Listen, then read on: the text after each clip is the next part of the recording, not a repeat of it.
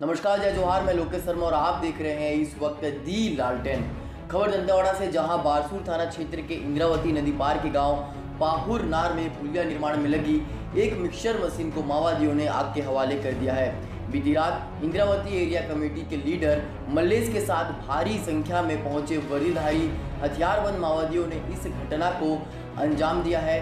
साथ ही भारी मात्रा में गाँव में नक्सलियों ने बैनर, पोस्टर भी लगाए हैं। बता दें कि पाहुरनार गाँव बस्तर की जीवनदायिनी कही जाने वाली इंद्रावती नदी से लगा हुआ गाँव है।